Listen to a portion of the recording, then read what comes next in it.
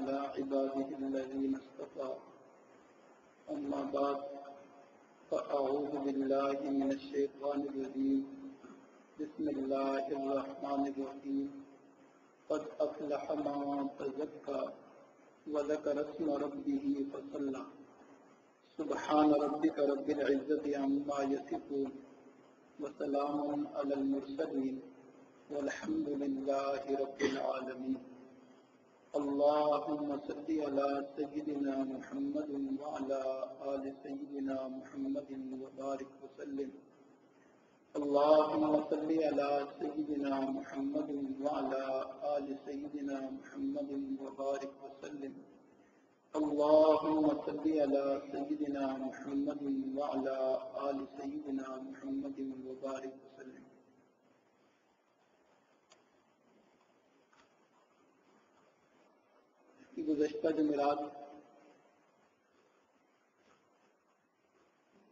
कुछ ऐसी बाकी बीमारियों की निशानदेही की थी कि जिनका हमें एहसास तो नहीं होता, लेकिन हमें उसका नुकसान बहुत हो रहा है। आज भी उसी सिलसिले को आगे चलाते हुए चंद बीमारियों की निशानदेही करनी है कि जो रूहानी तौर पर और दातनी तौर पर हमें लाहिक हैं, मगर हमें उन बीमारियों के इलाज करने की फ़िक्र नहीं और उन बीमारियों से हमें बहुत नुकसान पहुँच रहा है। जाहिरी बीमारी हो जिसमानी बीमारी हो तो जिसम में तकलीफ़ होती है सर में दर्द हो तकलीफ़ होती है, पेट में दर्द हो तकलीफ़ होती है, और कोई मसला हो तकलीफ़ होती है तो इंसान भागे भागे डॉक्टर के पास जाता है। लेकिन रूहानी बीमारियों का इस तरह दर्द नहीं होता। दुनिया में इस तरह वो महसूस नहीं होती, बंदे को एहसास नहीं होता। बल्कि रूहानी बीमारी में तो वक्ती तौर पर मज़ा आता है। इस तरह मज़ा आता है जिस तरह किसी बंदे को खारिश लगी हो तो खारिश करते वक्त खुजली करते वक्त मज़ा आता है। लेकिन बाद में पता चलता है कि यहाँ तो जख्म बन गया। इसी तरह रूहानी बीमारियों में उस वक्त मज़ा आ है। बंदा उस बीमारी में अच्छी तरह मुबतला हो जाता है तो बाद में फिर उसकी तकलीफ़ होती है। कुछ को तो दुनिया में भी होती है, और दुनिया में अगर ना भी हुई तो आखिरत में ज़रूर होगी। इसलिए हमें रूहानी और बाकी बीमारियों का इलाज करने की ज़्यादा फ़िक्र नहीं होती हालाँकि जिस्मानी बीमारी का इलाज न किया जाए तो इंसान ज़्यादा ज़्यादा कब्र के गड़े तक पहुँचता है, यानी मर जाता है। और अगर रूहानी बीमारियों का इलाज न किया जाए तो इंसान जहन्नुम के गड़े तक पहुँच जाता है। हमेशा हमेशा के लिए इंसान जहन्नुम के आज़ाद में चलता है। तो चुनानते हमारी बीमारियों में से एक बीमारी यह है कि आज हम अपने ज़ाहिर को संवारने की फ़िक्र तो करते हैं, अपने ज़ाहिर को बनाने की फ़िक्र तो करते हैं, लेकिन बातिन को आरास्ता करने की, बातिन को साफ़ करने की कोशिश नहीं करते, उसका एहतमाम नहीं करते। हमारी फ़िक्र होती है हमारे बालों की कटन यदि हो, हमारा सूट ऐसा हो, उसके ऊपर बटन ऐसे हो, कढ़ाई ऐसी हो, और हमारे जूते ऐसे हों, गाड़ी ऐसी हो, यानी बन ठन के रहना, इसका इस्तेमाल करना हम अपने ऊपर ज़रूरी समझते हैं। लेकिन कभी हमने ये नहीं सोचा कि हम अपने दिल को भी संभाल लें इसको भी साफ़ कर। लें अपने ज़ाहिर को हम इसलिए संभालते हैं कि मखलूक देखेगी और कहेगी कितना अच्छा लग रहा है। कैसा प्यारा लग रहा है। कैसा खूबसूरत है। हालाँकि इंसान इस बात पे यकीन पैदा करे कि मखलूक के दिल तो अलग अलग की दो उंगलियों में है। अल्लाह ताला जिस तरफ़ चाहते हैं मखलूक के दिलों को फेर देते हैं। मखलूक के दिलों में हमारी मोहब्बत और चाहत उतनी ही आएगी जितनी अल्लाह ताला डालेंगे। हम लाख ज़ाहिर में बनते रहे, समझते रहे। अगर मखलूक के दिल में अल्लाह ताला मोहब्बत न डाले हमारी तो हमें कोई मुँह लगाने वाला ना होगा। सब नफरत करेंगे, चाहे हम कितने भी बन समझ कर रहे। लेकिन अगर अल्लाह ताला मखलूक के दिलों में मोहब्बत डाल दें तो फिर हम ज़ाहिर में मलांगी क्यों ना हो? लेकिन फिर भी मखलूक हमारे ऊपर टूटेगी और मखलूक हमसे मोहब्बत करेगी। इस बात का इंसान यकीन पैदा कर ले तो इंसान की ये बीमारी कम हो जाती है।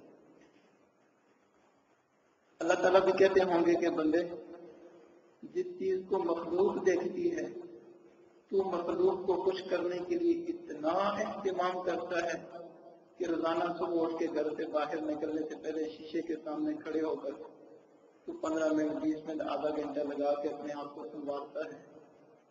और जिस चीज़ को मैं अल्लाह देखता हूँ, यानी दिल को, उसको तूने कभी संवारा ही नहीं। उसकी तूने कभी सफ़ाई की नहीं जिस घर में तुम्हें रहना होता है, उसकी सफ़ाई और सेटिंग को रोज़ाना करते हो। और जिस घर में अल्लाह ताला को रहना होता है, उसकी कभी सफ़ाई की फ़िक्र ही नहीं की। तो ये हमारी बीमारी है कि हम अपने ज़ाहिर को संवारने की फ़िक्र करते हैं, एहतमाम करते हैं, लेकिन बातिन को संवारने की और उसको साफ़ करने की फ़िक्र पर एहतमाम नहीं करते। इसलिए कहा गया कि अगर हमारा मालदार लोगों के पास बैठो तो अपनी जेब को संभाल के बैठो। यानी ज़्यादा माल की बातें ना करो कि मेरे पास इतना माल है। क्योंकि उनके मैार के मुताबिक नहीं होगा तो वो हंसेंगे किस पागल को देखो, दो पैसे आगे हैं तो कैसी बड़ी बड़ी बातें कर रहे हैं।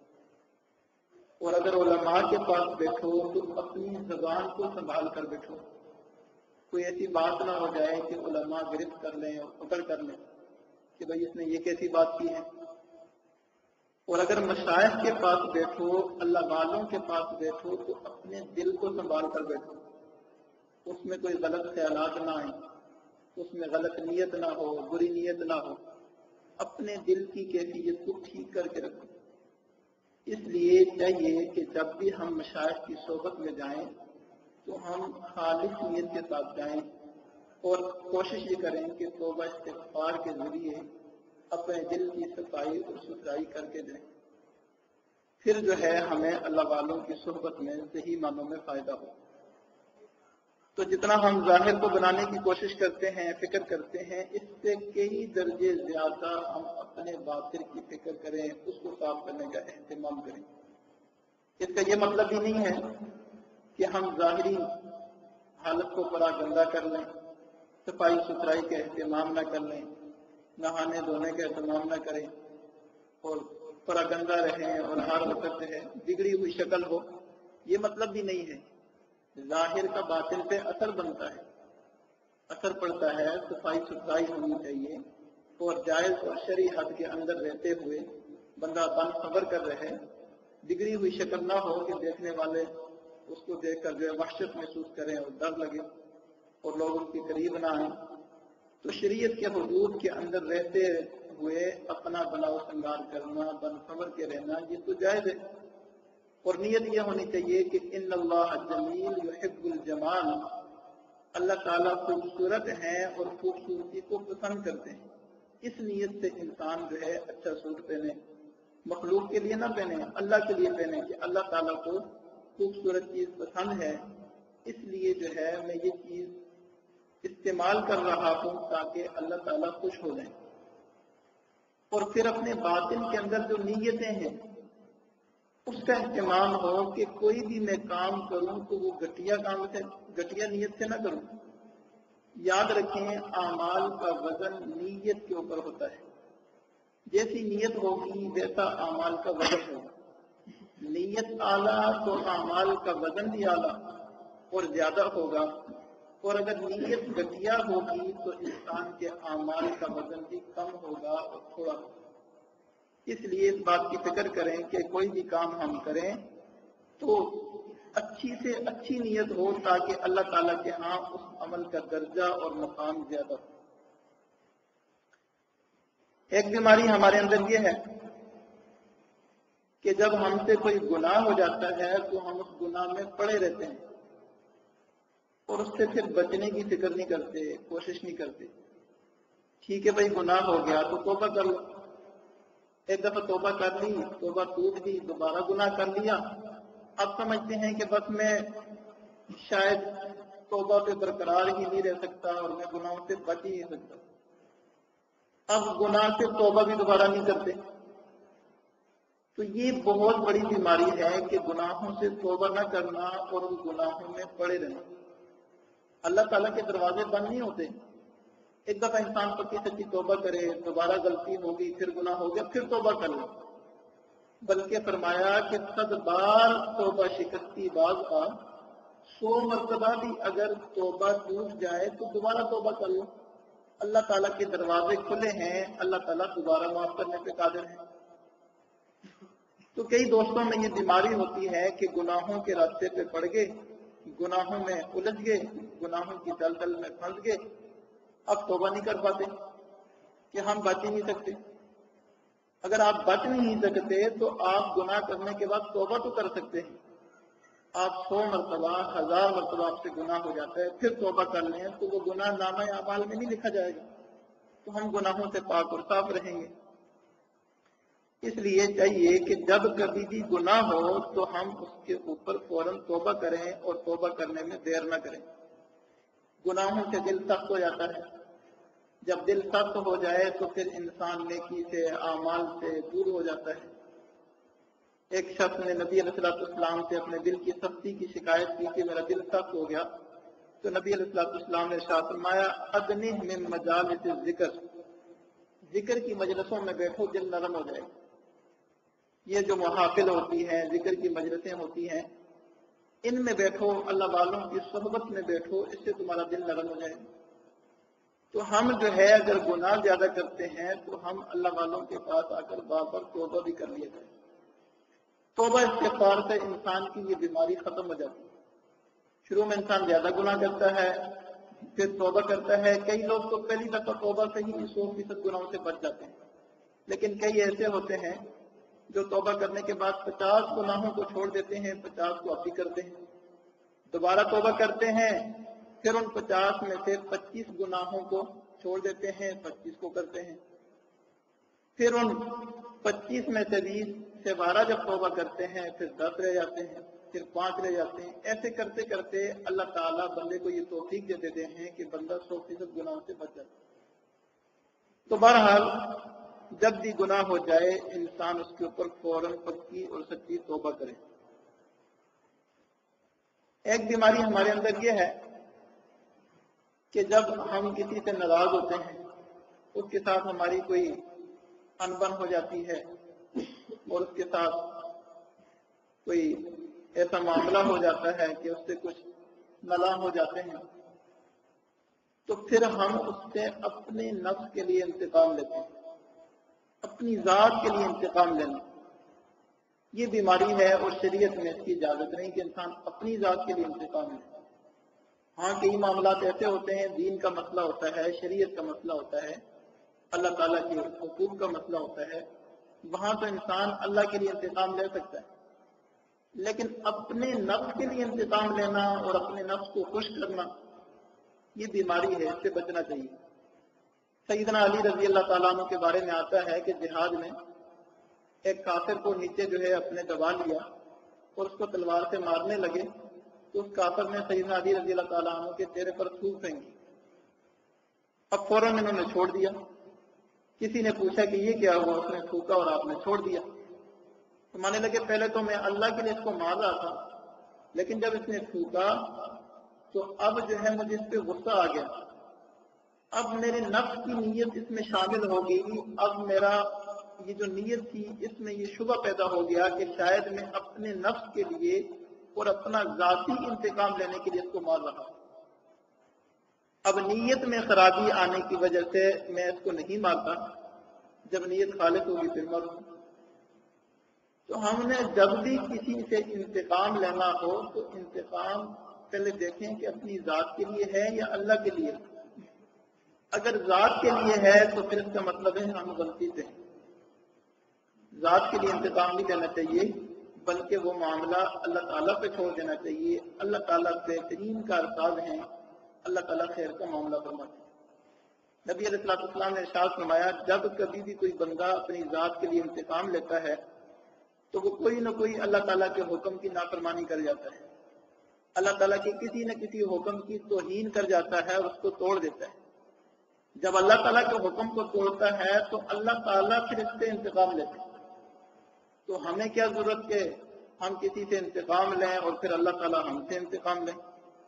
इसलिए हमें चाहिए कि हम इन रूहानी मजालत में आकर अपनी इस बीमारी की भी इसलाह करें कि हम अपने नफ्स के लिए और अपनी जात के लिए आज के बाद किसी से इंतकाम न लें। एक बीमारी हमारे अंदर यह है कि ये सिर्फ़ बीमारियों की निशानदेही हो रही है, इलाज तो फिर पहले बीमारी का पता चलेगा, फिर इलाज होगा। तो कम अज कम हमें इतना पता होना चाहिए कि हमारे अंदर ये ये बीमारियाँ हैं। तो सरसरी तौर पर निशानदेही हो रही है। एक बीमारी हमारे नफ्स में ये होती है कि हम कई दफ़ा जब ज़िक्र अजकार में और अच्छी मजालत में जाते हैं तो अपने आप को शैतान से महफूज समझते हैं। हम समझते हैं शायद हम इन इबादी सुल्तान में शामिल हो गए हैं। ऐसे बंदों में शामिल हो गए जिन पर शैतान का कोई असर नहीं होता। तो हम अपने आप को महफूज और मामून समझते हैं। हालाँकि शैतान तो हमारा वाज दुश्मन है। उसने तो बड़े बड़े अलिया को नहीं छोड़ा। शेख शिबली नमानी, इमाम राज़ी, इस तरह के बड़े बड़े अलिया को उसने नहीं छोड़ा। बल्कि अम्बिया से भी उसने लफ्जिश करवाई सईदना आज़म सलाम ने तो शैतान तो हमारा दुश्मन है। इसलिए मशायक ने यह कहा कि अगर किसी खलबत वाली जगह में हसन बसरी और राबिया बसरिया भी बैठी हूँ, हसन बसरी कितने बड़े दर्जे के वली थे और राबिया बस्ती भी कितने बड़े दर्जे की वलिया थी। फरमाया, वो दोनों भी अगर खलबत में मर्द औरत बैठे होंगे अगर से विलायत में दोनों का मुकाम बहुत बुलंद है लेकिन फिर भी शैतान उन पर हमला करेगा। इससे क्या सबक मिला? इससे सबक ये मिला कि हम शैतान से महफूज नहीं हैं, लिहाजा हम ऐसे मौकों पर ही ना जाएँ जहाँ शैतान हमारे ऊपर हमला कर हम तन्हाई में क्यों जाते हैं? न जाए तन्हाई में। हम जमात से कटेंगे, तन्हाई में इलादगी में जाएँगे तो शैतान हमला कर लेगा। मनशा शुजा जो बैर लश्कर से और रेवड़ से पीछे रह जाती है, जो बकरी पीछे रह जाती है, उसके ऊपर बेड़िया जो है हमला कर लेता है। इसी तरह जो बंदा तन्हाई में जाता है, शैतान उसके ऊपर हमला कर लेता है। तो तन्हाई में जाने से ही हम अपने आप को बचा लें और ये समझ लें कि शैतान से हम महफूज नहीं है, वो हमला कर लेगा। गुनाह के माहौल से ही हम अपने आप को बचाएँ।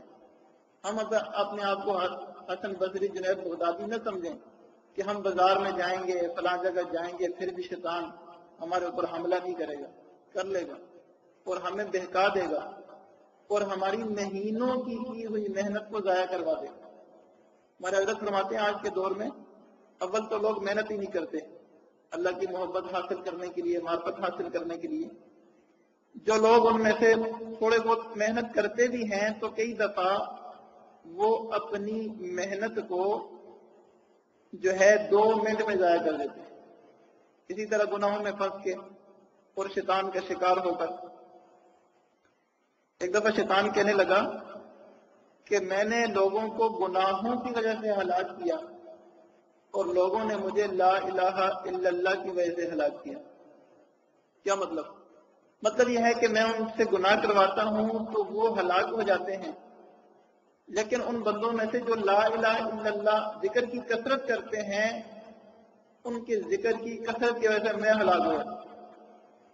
इसलिए हमें पता चला कि अगर हमने शैतान से बचना है और उससे महफूज रहना है तो हम ला की कसरत करें। ये हमारे पास हथियार है। अल्लाह का ज़िक्र। कुरान में आता है कि जब शैतान किसी जमात पर हमला आवर होता है तो सबसे पहले ज़िक्र अल्लाह अल्लाह का ज़िक्र छुड़वाता है। जब अल्लाह का ज़िक्र छोड़ दिया तो ये ऐसे ही है, गोया दुश्मन ने हथियार अपने हाथ से छोड़ दिया। अब हमला करना आसान है। अब शैतान जो है, हमला आवर हो जाता है। तो सालिकीन पे जब शैतान हमला करता है तो सबसे पहले उनसे मामूलात छुड़वाते हैं। जब मामूलात छोड़ दिए ज़िक्र कार छोड़ दिया उसके बाद फिर शैतान जो है गुनाहों के सारे दरवाजे दिखा देता है और बंदा जो है गुनाहों में मुलविस हो जाता है। इसलिए जो हथियार है ज़िक्र कार मामूलात दिए गए हैं, उनको मजबूती से पकड़े, ताकि हम शैतान का शिकार ही ना हो। तो इसलिए, और अल्लाह ताला से ये दुआ करें कि अल्लाह ताला हमें उन बंदों में शामिल फरमा लें जिन पर शैतान का बस नहीं चलता। कुरान में है ना, इन्ना इबादी लई सलकाम सुल्तान। मेरे कुछ ऐसे बंदे हैं जिन पर शैतान का बस नहीं चलेगी, शैतान के दाउन पर नहीं चलेंगे। अल्लाह ताला हमें उन बंदों में शामिल फरमा लें वो बंदे कौन हैं? जो मुखलसिन होते हैं, जिनकी नीयत खालिश होती है और तलब सच्ची होती है, ऐसे लोगों को अल्लाह ताला शैतान से महफूज कर लिया जाता सच्ची तलब के साथ, इखलास के साथ अगर हम अल्लाह ताला की मोहब्बत और मार्फत को चाहेंगे और अल्लाह वालों के साथ ताल्लुक रखेंगे तो अल्लाह ताला हमें शैतान से महफूज फरमा एक बीमारी ये है कि हम झूठ बोल बोलते हैं। एक तो ना सरी झूठ बोलना। इन नलकिस लिख सच्चाई निजात दिलाती है और झूठ हलाक करता है। एक तो सीधा सीधा झूठ बोलना होता है। साफ़ साफ़ झूठ अगर बोला जाए तो उसको हर बंदा बुरा समझता है। लिहाजा ऐसा झूठ कम बोलते हैं। और कई दफ़ा लोग इस वजह से झूठ नहीं बोलते कि अगर किसी को पता चल जाएगा कि इसने झूठ बोला है, कारोबारी मामले में, किसी मामले में इसने झूठ बोला है, बाद में बात खुल गई तो लोग मुझे बुरा समझेंगे और एतमाद उठ जाएगा। चुनाचे गैर मुस्लिम ममालिक में भी यह है कि वो लोग दुकानदार होते हैं, झूठ कभी नहीं बोलते। बात सच्ची करेंगे। उनको पता है मेरे गाँव छूट जाएँगे। एतमाद उठ जाएगा, कोई सामान लेने नहीं आएगा। इस वजह से सरी झूठ तो नहीं बोलते। लेकिन ये जो मिला जुला झूठ है, रला मिला झूठ है, मिक्स, ये बहुत बोलते हैं। और अक्सर लोग बोलते हैं। कई दोस्तों को देखा, वो बात को हेर फेर करके झूठ बोल जाते हैं और उसको नाम देते हैं बहाना। हमने बहाना बना लिया, बहाना कर लिया। इस बात को अगर अच्छी तरह समझें। एक है झूठ बोलना और एक है सच्चाई का मामला। झूठ तो यह है कि किसी को साफ़ साफ़ कह दिया, गलत बात कह दी। और झूठ का मामला यह है कि मिसाल के तौर पे एक बंदा घर में मौजूद है और कोई आदमी पूछने के लिए आया कि फलान साहब से मिलना है और उसने अपने जो है घर के कमरों का नाम रखा हो, लाहौर कुशोर या कोई और नाम रखा हो, बच्चे को कह दे कि उनसे कह दो, मेरे अबू लाहौर में है। अब कमरे का नाम लाहौर रखा हुआ है। बात तो सच्ची है कि लाहौर में है, लेकिन सच्चाई का मामला नहीं है। बात सच है, लेकिन मामला झूठा है। इसलिए इसी मिसाल पर क्या करते हुए जो हम मोबाइल पे कह देते हैं कि मैं अभी यहाँ नहीं हूँ, वहाँ नहीं हूँ, इधर नहीं हूँ, उधर नहीं हूँ, मैं अब पहुँचा वो अब जो है कई घंटे हो जाते हैं फिर। तो ये जो है ना, सच्चाई का मामला नहीं मामला की सदाकत नहीं है हमारे अंदर। मुसलमान के तो मामला साफ़ सुथरे और खरे हों। बिल्कुल साफ़ सुथरे हों। इसके ऊपर एक छोटी सी मिसाल दे दूँ। हज़रत एक तो सानवी रहमुल्ला ने अपने मुतालिकीन को ये दर्ज दिया कि जो बंदा टाल मटोल करता हो, झूठ बोलता हो, उसे कर्ज न दिया करो। क्योंकि वो कर्ज लेके बाद में परेशान करता है, वक्त पे वापस नहीं करता। चुनाचे एक दफ़ा ऐसा हुआ कि एक बंदा हज़रत एक थानवी रहमल्ला से कर्ज लेने आ गया। हज़रत ने पहले से उसके बारे में सुना हुआ था कि ये दाल मटोल वाला है और पता था उसके हालात का। तो हज़रत ने हिकमत से काम लिया। हज़रत ने फरमाया, आप ऐसा करना कल 12 बजे मेरे पास आ जाना, मैं आपको कर्ज दे दूँगा। हज़रत इम्तिहान लेना चाहते थे। दूसरे दिन जो है 12 बजे का वक्त गुजर गया वो ना आया। शाम को आ गया। कहने लगा, हज़रत कैसे? हज़रत ने फरमाया, कैसे? तो कहने लगा, हज़रत, आपने कहा था। भाई, मैंने क्या कहा था? आपने कहा था जी, कल बारह बजे आना, आपको कर्ज दे दूँगा। तो हज़रत ने फरमाया, मैंने बारह बजे का कहा था। अभी बारह तो नहीं बज रहे, अभी तो कोई और टाइम है। शाम का वक्त है। तो कहने लगा, हज़रत, देर हो गई। तो हज़रत ने फरमाया, काम तुम्हारा था, ज़रूरत तुम्हारी थी। अपनी ज़रूरत के लिए तुमने इतनी ताखीर की तो कल जब कल वापस लेते हुए मेरी ज़रूरत होगी, फिर तुम कितनी ताखीर करोगे? इससे पता चला कि तुम्हारे मामला साफ़ नहीं है। तुम टाल मटोल वाले हो, और तुम्हारी मामले के अंदर सच्चाई नहीं है। लिहाजा मैं तुम्हें कर्ज नहीं देता। लिहाजा हज़रत ने यह किया कि उसको वापस लौटा दिया।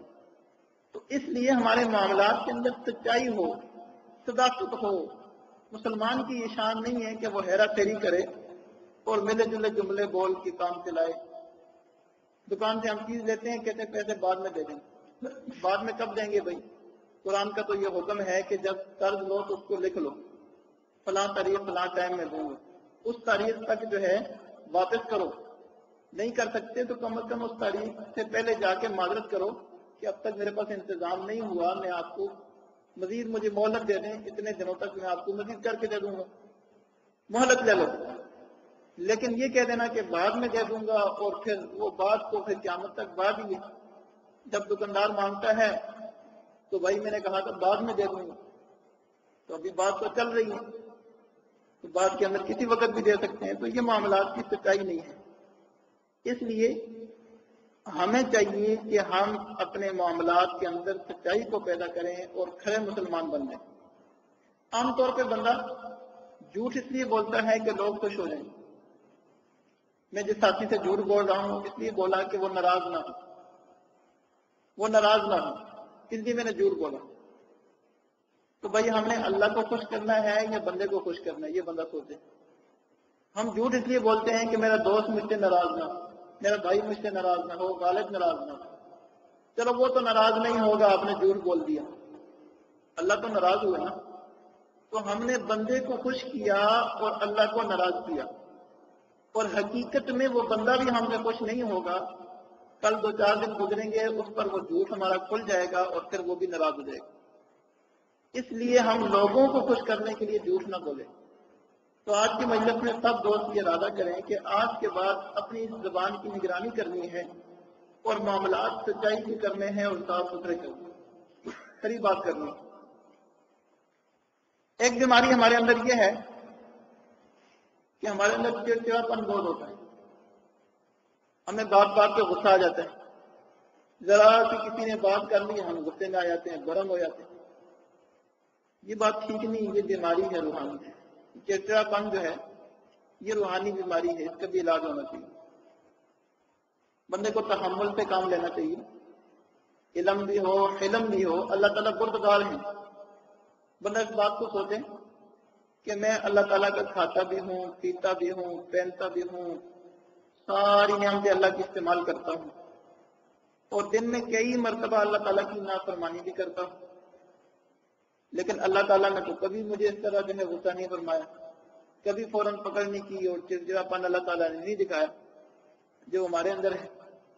और हमारे साथ कोई बंदा ऐसी थोड़ी सी बात कर लेता है तो हम फ़ौरन गुस्से में क्यों आ जाते एक सहाबी नबी इस्लाम के पास आए और अर्ज़ किया कि या रसूलुल्लाह सल्लल्लाहु अलैहि वसल्लम, मुझे कोई वसीयत फरमाई तो नबी इस्लाम ने वसीयत फरमाई, फरमाया, ला गुस्सा ना किया करो।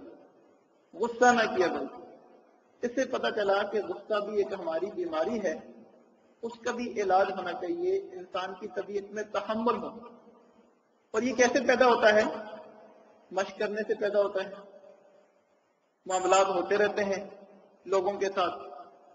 तो जब भी कोई ऐसा मामला हो और किसी पर गुस्सा आ रहा हो तो उस वक्त जो है दिल में ये सोचे कि अगर मैंने अपना ये गुस्सा इस बंदे पे उतार लिया तो कहीं ऐसा ना हो कि अल्लाह ताला फरमाए कि तूने मेरे बंदे पे गुस्सा उतारा, लिहाजा मैं भी तेरे ऊपर गुस्सा उतार बंदा इस बात को सोचे। और फिर नबी सलाम ने जो वजीफे बताए, खड़ा है तो बैठ जाए, बैठा है तो लेट जाए, गुस्सा कम हो जाएगा। क्यों? जितना बंदा मट्टी के करीब होता है, इतनी आजगी पैदा होती है। और गुस्सा आता है तकबर की वजह से। जितना बंदा अपने आप को बड़ा समझता है, खड़ा होता है, ऊँची जगह पे होता है, इतना ज़्यादा गुस्सा। मट्टी के करीब हो जाओगे तो आज भी आ जाएगी और गुस्सा कम हो जाएगा। और गुस्सा आग की वजह से पैदा होता है। लिहाजा फरमाया, पानी पी लो, वो आग बुझ जाएगी गुस्से की, ठंडक पैदा हो जाएगी। और बाद में शायद ने ये भी फरमाया कि गुस्सा आ जाए तो गुरु शरीफ पढ़ लो। और बाद में ये भी बताया कि रब आउद मिनहा मजात शयाती आउद बिल्ला में शैतान रजीम, पढ़ लो, इससे भी गुस्सा कम हो जाएगा। तो गुस्से को कंट्रोल करें और उसकी मश्क करें। चंद मरतबा, चंद मामलात में गुस्से को कंट्रोल करने की मश्क करने से इंसान के अंदर ये मादा पैदा हो जाता है, इस्तेदाद पैदा हो जाती है कि फिर बड़े बड़े मामलात भी हों, बंदा फिर सबर कर जाता है। फिर इंसान गुस्सा नहीं दिखा अलबत् एक बात ध्यान में रखें कि जो बंदा हो, मुक्तदा, शेख हो, उस्ताद हो, या वालिद हो, कई दफ़ा उसको अपने मुतालिकीन की इतला करनी होती है। वहाँ गुस्से की ज़रूरत होती है। कुछ चीज़ें तो बातों से हो जाती हैं और कुछ चीज़ें लातों से भी होती हैं। कोई बातों के भूत होते हैं, कोई लातों के भूत होते हैं। कुछ चीज़ें जो है जबान से समझ आ जाती हैं, कुछ चीज़ें डंडे से समझ आती हैं। इसलिए उस्ताद को और शेख को वक्त ज़रूरत गुस्सा करने की और उसको बरकरार रखने की इजाज़त है।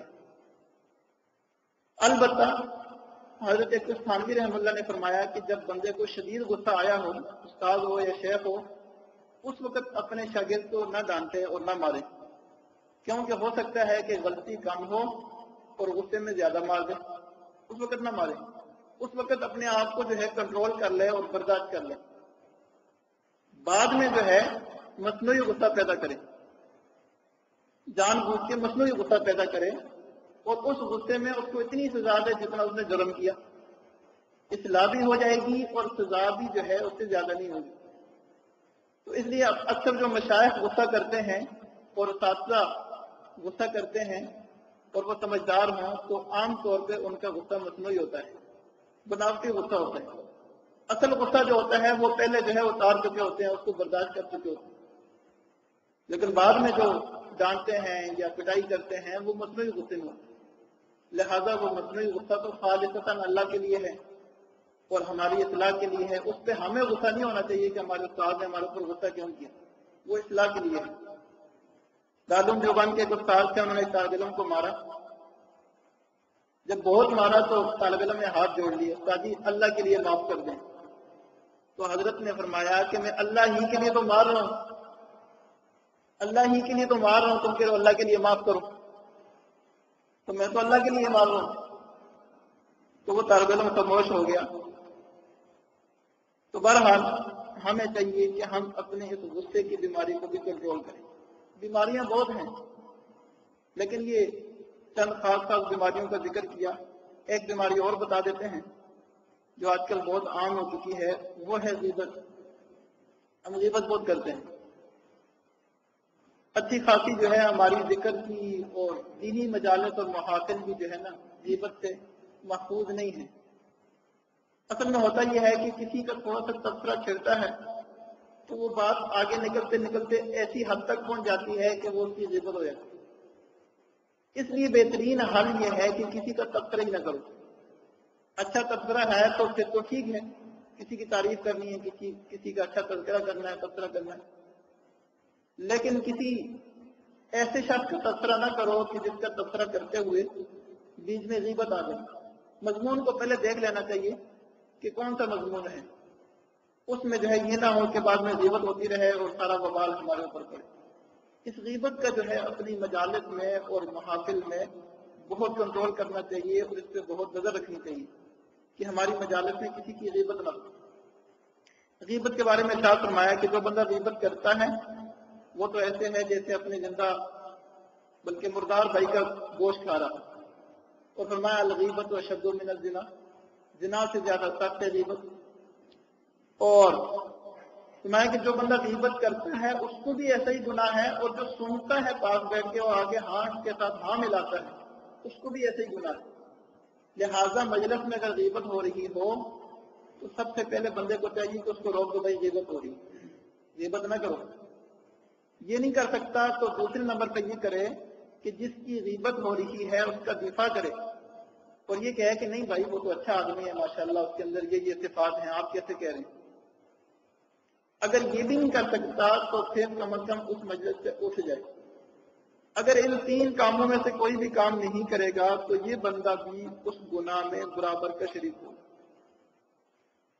लिहाजा एक बीमारी हमारी ये है कि हम मुजीबत बहुत करते हैं।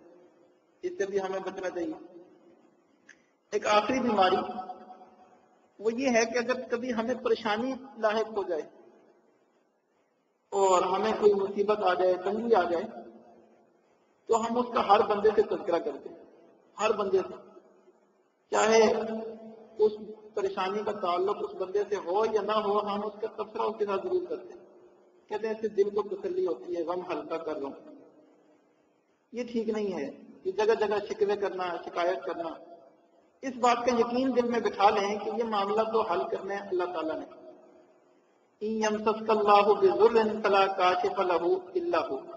अल्लाह ताला किसी को कोई नुकसान पहुंचाना चाहे तो कोई भी दुनिया की ताकत उस नुकसान को दूर नहीं कर सकती स्वाय अल्लाह की। तो लिहाजा दर दर पे जाके अपनी दास्तान गम सुनाना, ये हो गया, वो हो गया, फलां हो गया। इसका क्या फ़ायदा है?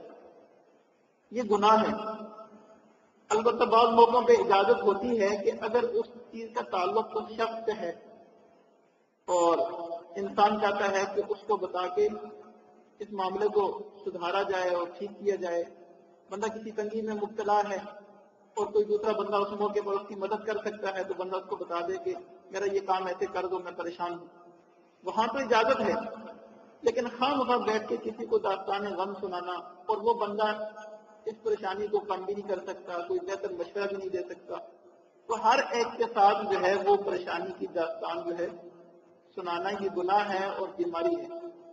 इसलिए हम अपनी ये आदत बनाएँ कि हमारे ऊपर कभी भी कोई तंगी आए, परेशानी आए, मुसीबत आए, कोई ऐसे हालात आए तो हम जो है, वो अल्लाह ताला के सामने जो है बयान करें। एक बुज़ुर्ग थे, उनको कोई पेशाब की बीमारी लगी और उनका अपना यकीन ईमान था।